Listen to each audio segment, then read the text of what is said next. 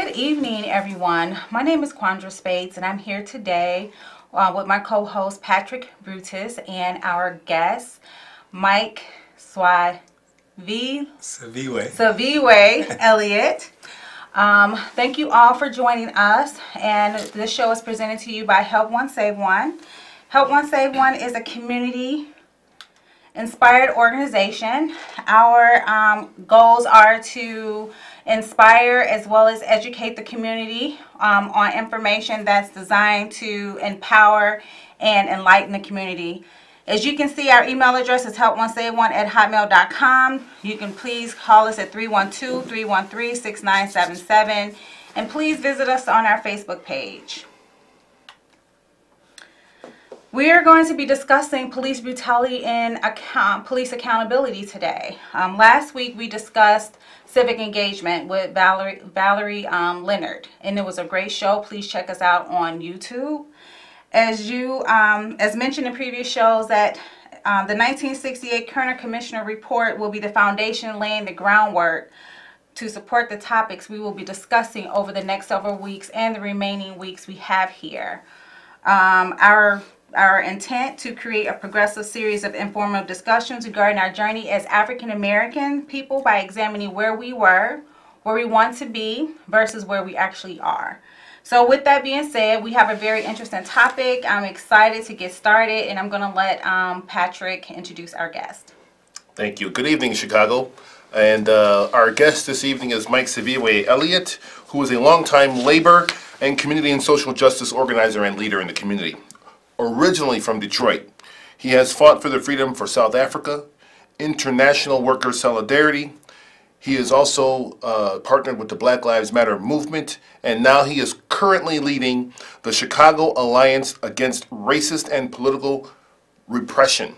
That organization is CAA-RPR. That organization is fighting for a democratically elected civilian police accountability council that uh, will establish the community control of the police. Mike, yes. why don't you tell us a little bit about this? Welcome to the show and glad you're here this evening to talk to us about this very important topic and very timely and relevant here in Chicago today. Yeah, well, I want to thank you all for inviting me uh, to have this opportunity to talk about this very important topic. And uh, I'm actually the chair of the Labor Committee of the Chicago Alliance Against Racism and Political Repression. Uh, What we've been fighting for for five years is to establish an all-elected civilian police accountability council. Um, one that will actually replace the current police structure. That includes the the police, the police board, um, COPA, mm -hmm. and internal affairs will be folded into uh, CPAC also. So CPAC is the acronym for it. And we think it's very, it's very necessary that we change the way we've been doing business in terms of how we are approaching uh, to resolve the problem of police accountability in this city. And so far, uh, there's a long history of how the government structure, the city structure has failed to properly address that issue and these acts of police violence and brutality and corruption are still continuing.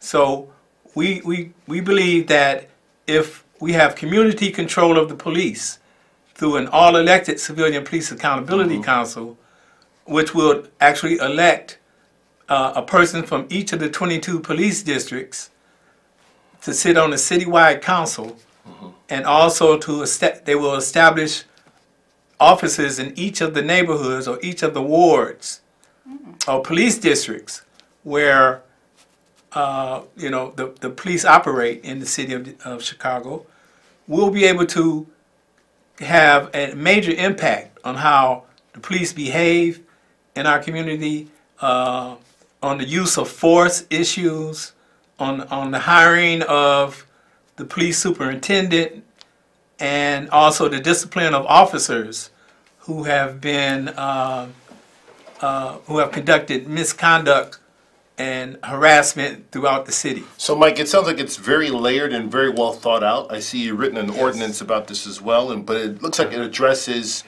uh, you know, hiring in the police districts, community policing. Yes. It also hi, uh, also looks at you know police review in, mm. in replacing the COPA structure as it is today, and mm. this really will give more of a voice to the community residents in the city who Yes. feel the impact the most on a daily basis from police protect and serve. Yeah. Um, we got a lot of questions here this evening that we want to talk to you about, and this is a mm. very interesting topic, as you will agree at home. And please don't forget to call us in. It's a talk show, it's a call in show, and your participation is very important. Please call us at 312 738 1080. 312 738 1080. Call in, let us know what you're thinking, and express your concerns and remarks to the guests or us or in general. Uh, Mike, so we've got a lot of police brutality issues going on here in Chicago. Just recently this year alone, we've had three in other major cities. April 28th in California, we had a young man who was killed in the Walmart parking lot. May 9th in Miami, police actively kicked a handcuffed man while he was uh, detained. And on March 30th, also in California, Stephon Clark was shot eight times in his own backyard. Um, which leads us to this question. Do you think police uses of force in these examples were conducted within the scope of their job duties? Or would you say that there's a significant racial disparity in how police in the United States use force? Uh, try to juxtapose what's going on, you know, in other cities uh, as we Yeah. also try to identify what's going on right here in Chicago. Yeah, I would say there's a, a major influence of racism in the behavior of the way police officers conduct themselves, particularly in black and Latino communities. Um, there, there are countless examples of how police have overreacted, have provoked, and have just uh, blatantly um, shot and injured various people uh, in, in, in black and poor communities, uh, black, Latino, and poor communities. And this is this it's been continuing. Um, for us uh, in the Black Lives Matter movement, um, activists in the social justice movement, you know, it's very clear. And for people living in the community, because a five-year-old, five-year-olds are scared of the police in, in black communities, and there's reasons why. It's because of the way they behave and disrespect. And um It's ironic how we are, you know, hands up, don't shoot, and then they are shooting first. exactly. Right. I mean, if you put your hands up, they, they can say they saw a weapon in your hand and shoot you. right. I mean, it's so many examples of that. Like you gave some examples of some people who have been unfortunately killed uh, by the police, um, innocent folks who have been killed. But in Chicago, it happens every single day. Every single day. Somebody is shot, jailed, falsely accused of a crime, locked up, beaten.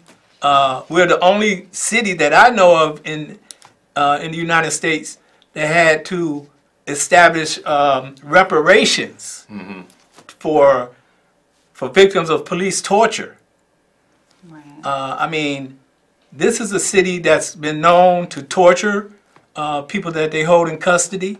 It's Yeah. actually part of the budget almost on an annual basis where they set Yeah. aside a certain amount of high number of millions of dollars Mm-hmm. to settle these cases. Yeah, after forcing people to make false Right. confessions. Well, you know, actually, with that, um, along those lines, I kind of wanted to read um, what the Boston University School of Public Health, um, a study that they conducted on racial disparities and police violence.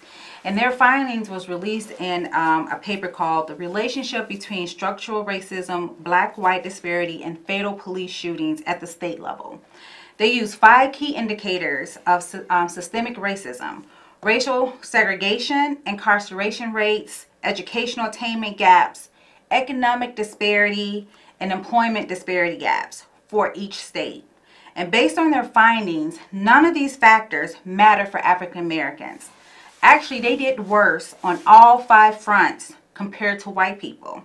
Their findings show that states like Wisconsin, Minnesota, as well as Illinois, registered as the highest on the state racism index because they have some of the highest rates of unarmed African Americans being shot by police. So, um, given this empirical data, data, racial disparities found in police violence can no longer be written off as a dispute over what was in the police heart when he or she pulled the trigger, or even um, it goes even further than that, that they were afraid. Um, but the real question is based on your expert opinion. Why do you feel police officers were more likely to fatally shoot a black or brown person despite the criminal act, the neighborhood they're in, or even the, the situation, like the hands up situation? Um, what do you think um, are those reasons and what are the solutions, if any? I think that the the basic reason is racism is multi-generational. And these police officers of today are have inherited uh, a philosophy, a way of thinking of people of color uh, that actually puts us in their minds in the classification of being less than humans than they are. We actually have a caller. Hello, caller. What's your question or comment? Thank you. I uh, been listening to the gentleman, your guest, speak here uh, regarding uh, police brutality, brutality in the black community. Now we know that we have a history of uh, being victimized in the black community, and I know that uh, for a fact that um, the slave patrols were implemented uh, by way of police forces. Uh, they told the um, citizens in, in this country at one point, you, know, you must be on the slave patrol from age, if you start at age 6 to 60, uh, you're automatically in place. And these, these uh, systems have prevailed, although they've been allegedly outlawed. But there's an unwritten law of black codes. Uh, we can look at the example of citizens in this country using the police forces to, to commit racism the the incident at Yale University, where the woman went to sleep in a in a study room, and this woman, a white woman, called the police, and uh, it turns out that she had also called the police on her friend, uh, brother who was in uh, was seeking directions. So the citizens are using the police to commit racism against black people, against the communities. So how do we address uh, comprehensively the issue of black people being victimized by the system? And I'll let you get back to your, your guest. Thank you for your call. Thank you for your question. Yeah, I'd like to comment on that because um, the huge the huge question here is is how do we address a cultural a culture of racism? Right. It's a culture of racism that that that dominates the the police department and many parts of uh, of the white communities throughout the nation. And like I said, it's due to multi-generational racism. You know, this has been passed on and ingrained in the minds of, of many of these people uh, to look at us as being a threat, to look at us as being less than human.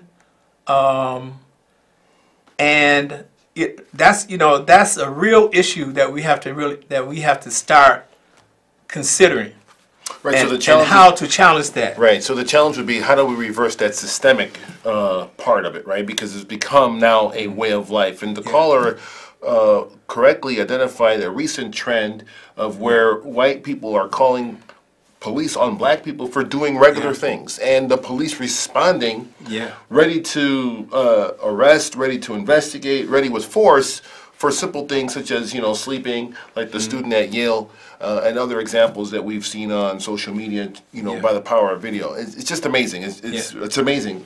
Yeah, I, I think one of the solutions is this new generation of young white people. That is one of the key solutions. They are they are really stepping up and challenging the, the the old philosophies that that um, their parents and family has tried to pass on to them, and they are you know they are actually meeting and, and hanging out with black people and black activists and Latino activists and, and learning for themselves who we are.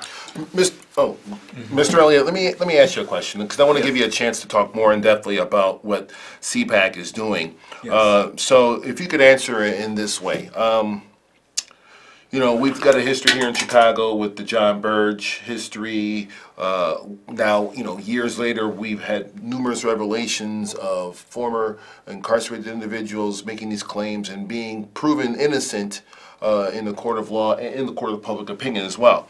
And so, uh, if you could just uh, give us a little bit about why CPAC is necessary today, what made it come to the table so far, and how is it going to address the necessary level of monitoring that we need to control police misconduct and try to prevent it from happening in the first place with all the things that you guys have uh, planned in your strategic plans, as it were. Yes. So, just like some of the issues you, you, you've just raised um, about John Burge and the, uh, the, the long history of police uh, brutality in, in the city of Chicago, uh, there have been uh, various proposals or structures set up, police structures set up by the city administration, by various mayors to allegedly address this issue, and all of them have failed. Um, we felt very strongly that it was time to come up with le- a legislation that will empower the people to have control over how the police conduct themselves in our community. We don't want oversight of the police, uh, like some of these ordinances are, are proposing. We want control of the police. So then, are you in favor or not in favor of the consent decree, which would then give the federal government some level of jurisdiction over the local police department here in Chicago?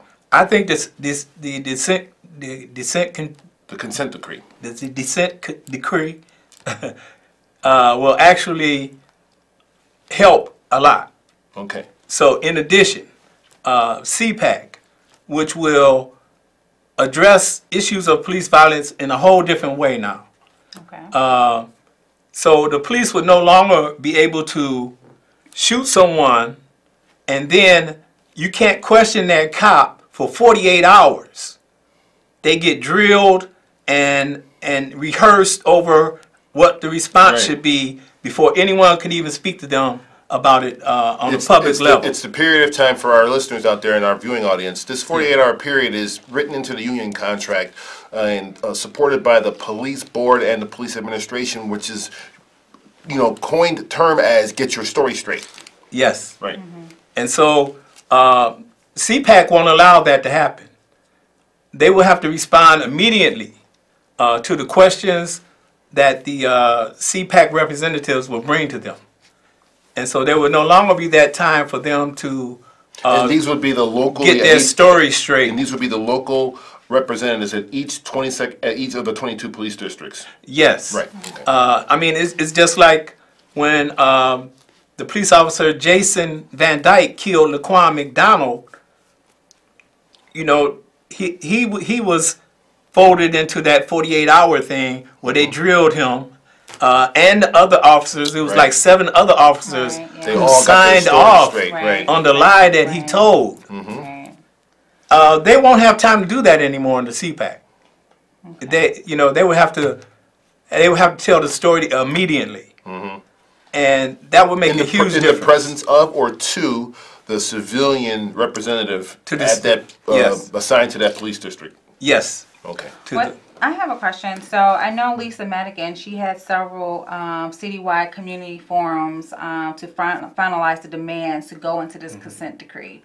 Um, did you attend any of these forums that was led by the um, Attorney General's office? no, I didn't personally, but some of the members of our organization did. Okay, and But- do, do you feel did they come back and give you feedback on whether or not those activities were successful? Were they helpful? No, we didn't think they were successful at all.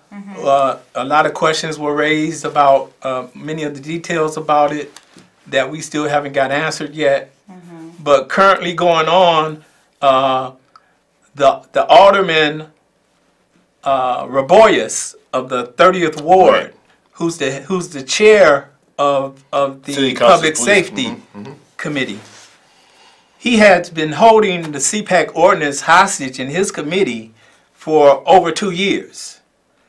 And it was just recently that we finally forced them to bring out our CPAC ordinance, it's actually an ordinance, um, and have it discussed in the public.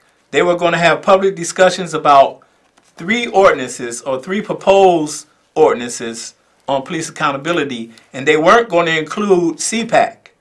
So, But after we, after the public, after we, they received so much public pressure, they had to come out and actually add us to that panel, to that, to that discussion. so Mr. Elliot. In the public. So Mr., uh, so just for your viewers at home, uh, city council, once you introduce an ordinance, it gets assigned to a committee. It's been assigned to the, uh, public safety committee, but does it have a sponsor?